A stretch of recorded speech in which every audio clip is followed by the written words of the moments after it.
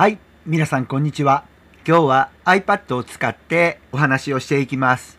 どんなお話をするかと言いましたら、素の AI で作った音楽を最近発売になって話題沸騰中の Logic Pro、それの iPad 版 Logic Pro 2ですね。PC 版としては Logic 11、これとほぼ同等機能の Logic Pro ですけれども、これを使ってマスタリングをしようじゃないか。そんな風に考えています。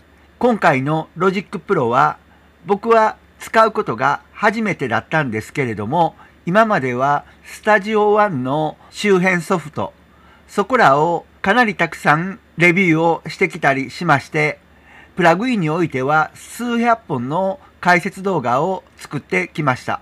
その僕が今回の Logic Pro がとっても素晴らしいということを前から情報を聞いていたので、一つ前の M2 の iPad Pro なんですけれども、それを使って今 Logic Pro をとっても研究しています。そんな中で今回の目玉機能というのは大きく3つあります。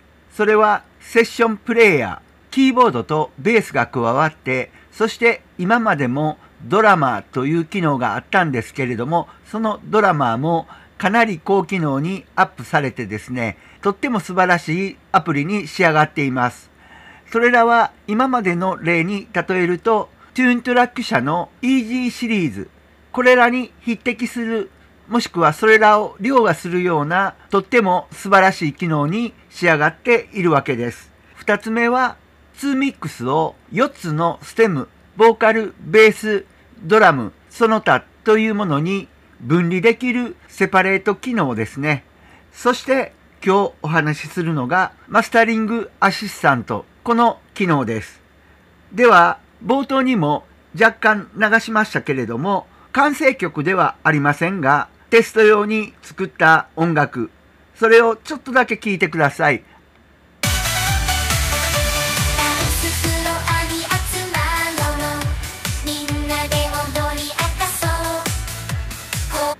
スノ AI 特に V3 という風になってから音質の向上も見られましたそしてどんどんどんどんいろんなところが進化してとっても素晴らしい AI ソフトなんですけれども僕の本業であるサウンドエンジニアという立場から見ると2つぐらい欠点がありますそれは全体的にちょっと音圧がこのままでは低めということです。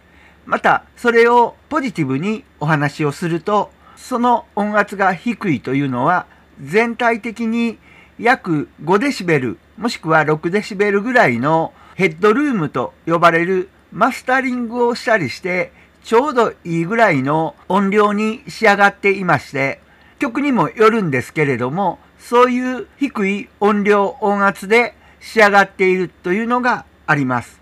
もう一つがこれもいいところでもありまた難しいところでもあるんですけれども曲にものすごく大きなダイナミクスいわゆる小さなところと大きなところこの音量差がたくさんあっていいように言えば音楽に表情ができている。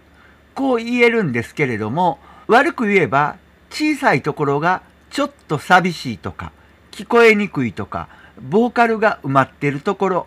いい点でもあり悪い点でもある。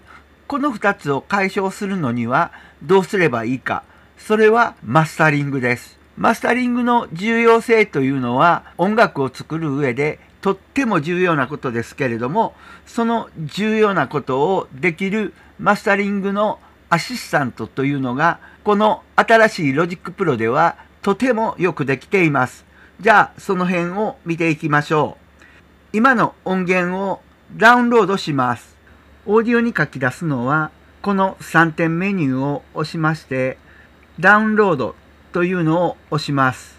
そうすると右にオーディオとビデオというのがあります。今日はオーディオというのでやります。ただし一つヒントですけれどもビデオというのにしても今回の Logic Pro ここからはビデオをとってもうまく読み込めるようにもなっていますただし今日はオーディオを書き出しますそうしますと画面下の方にダウンロードというのが出てくるようになります。それを押します。すると次で開くというメニューが出てきますので、それを押します。するとこのようにどこに保存するというのが出てきますので、ファイルに保存というのをします。そしてダウンロードというフォルダーに保存をします。右角の上の方に保存というメニューがありますので、それをクリックします。すると保存ができました。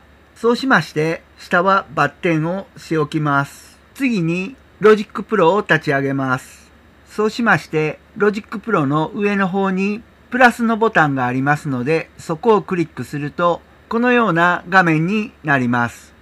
そこで、今回は単に一つのオーディオだけですので、トラックというのを押します。すると、MIDI オーディオパターンセッションプレイヤーというのが出てきます。そこでオーディオを選択します。そうするとトラックが一つだけできているプロジェクトファイルです。先ほどのファイルのところからここにドラッグドロップしたいわけですけれども、まずはファイルを出します。今、このように下からスワイプするとこのように出てきますので、ファイルのアプリを開きます。このようなファイル画面です。今保存しました高校のパーティー。これですね。はい。見えますでしょうか？これです。これをロジックに持っていきたいと思います。これはドラッグして画面左の方にロジックが立ち上がっています。ここにドラッグドロップします。はい。このようにするとロジックが立ち上がります。そしてこのオーディオトラックのところに離します。そうしまして先頭の方に詰めましょう。この先頭に詰めるというのは必ずそうしないといけないわけではありません。例えばよくあるのが2小節目からに配置をする。これも一つの方法ですので任意の場所に配置をしてください。僕の方では先頭に持っていきます。そしてヒンチを使って全体を見えるようにしましょう。また今左側にブラウザと呼ばれる領域がありますので広く使うために画面下の一番左の端ですね。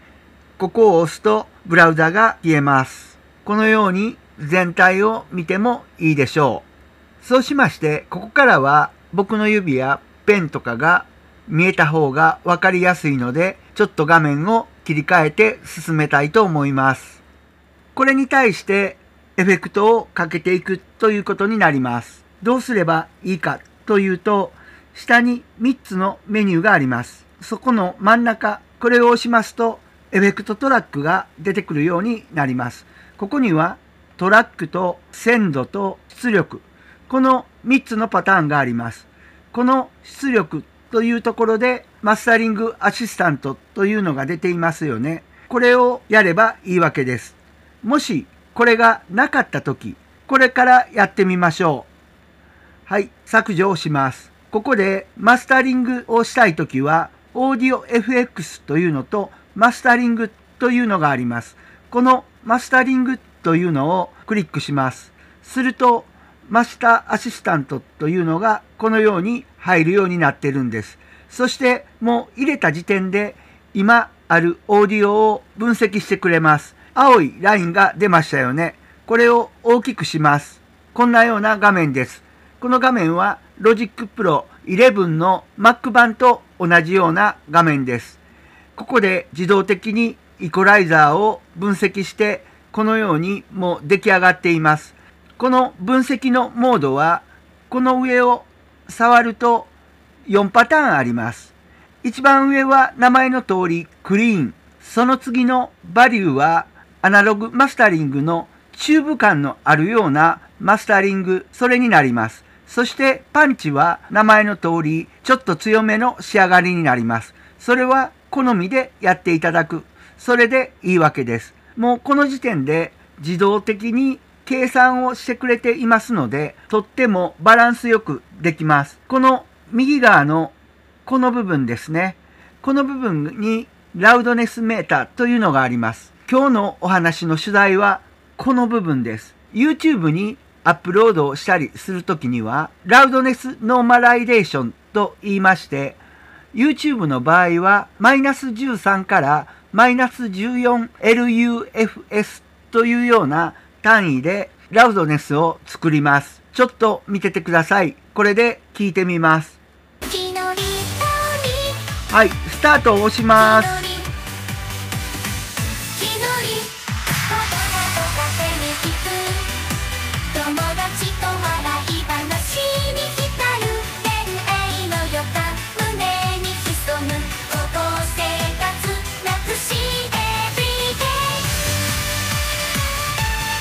止めます。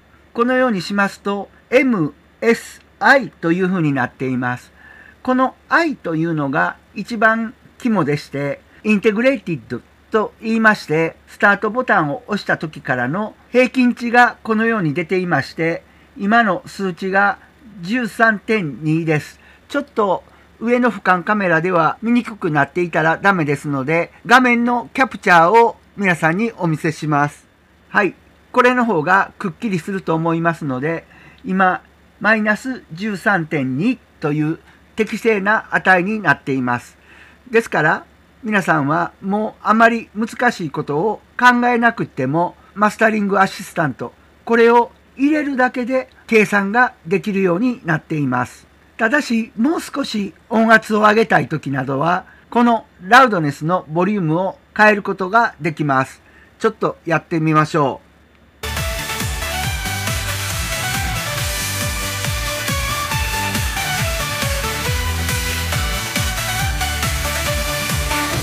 ちょっと上げましたそう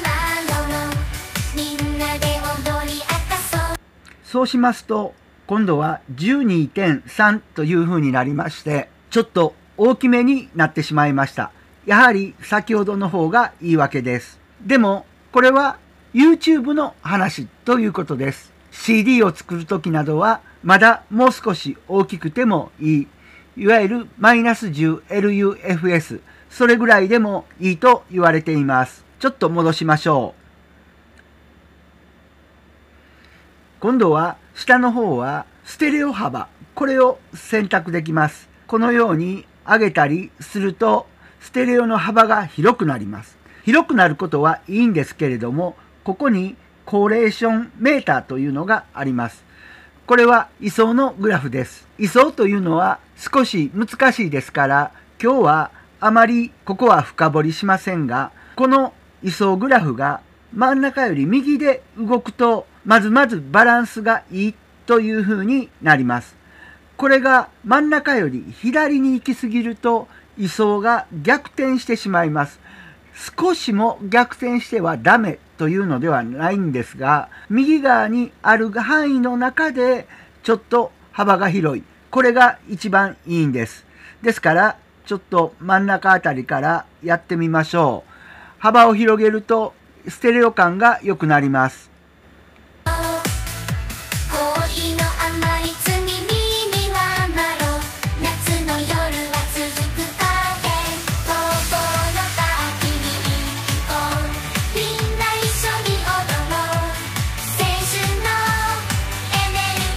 バイパスします。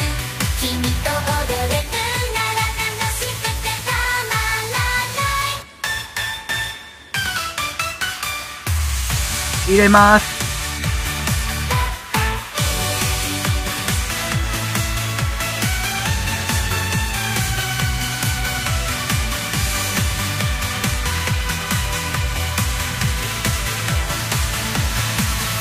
このようにやっていくんですけれども、なんか触りすぎておかしくなっちゃったなと思うような時には、ここにリアナライジングというのがあります。ちょっとこれを押してみましょう。そうすると、アナライジングが始まって、しばらくすると、はい、このように、この音源をもう一度スキャンしまして、適正なマスタリング、これを作ってくれます。ですから、もう一度聞くと、13デシベル前後になると思います。「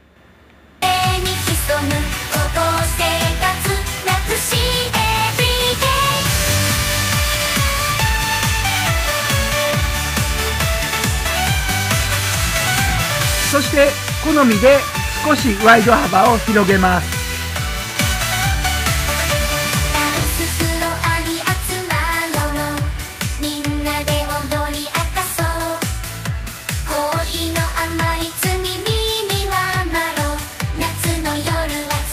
はいいい感じですね。13.5というラウドネスになりました。